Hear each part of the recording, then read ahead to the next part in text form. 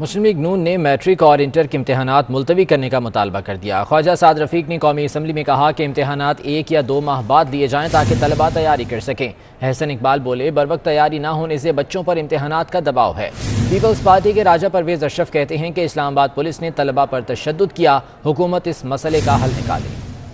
नहीं कहते कि आप इम्तहान बिल्कुल ना ले, बिल्कुल इम्तहान लें। अगर आप इसे छह या आठ आठ हफ़्ते मौखर कर दें, क्लासेस लगाइए, बच्चों को वहाँ बुलवाइए, बच्चे पढ़े। अगर आपने सिलेबस पढ़ाया नहीं, मॉरली आप उसका इम्तहान नहीं ले सकते। मैं एक देहाती इलाके से हूँ और मेरे इलाके के सब नौजवान ऑनलाइन तालीम से बहरामंद नहीं हो सके। उनके पास वो सहूलियात नहीं थी कि जो शहर के डेवलप्ड इलाकों के अंदर हों।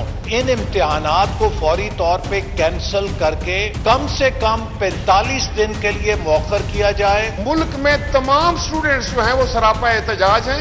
इम्तहान की वजह इस्लामाबाद में दो दिन पहले पुलिस ने उन पर तशद किया है और कई स्टूडेंट्स जो है वो जेल में बंद है। हुकूमत को फ़ौरन इस मसले पर बात करते हैं हम अपने बच्चों पर तशद करके उनको क्या सिखा रहे हैं?